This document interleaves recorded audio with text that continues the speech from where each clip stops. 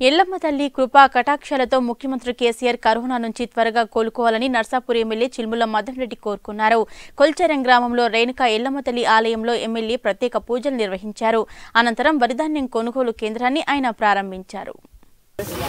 మన ముఖ్యమంత్రి గారు అమ్మవారి దయ వల్ల అతి తొందరలో కోలుకొని మళ్ళా బంగారు తెలంగాణ వైపు అడుగులేసి మరి తెలంగాణ రాష్ట్రాన్ని అభివృద్ధి వైపు తీసుకుపోవాలని నేను అమ్మవారిని ప్రార్థిస్తున్నా.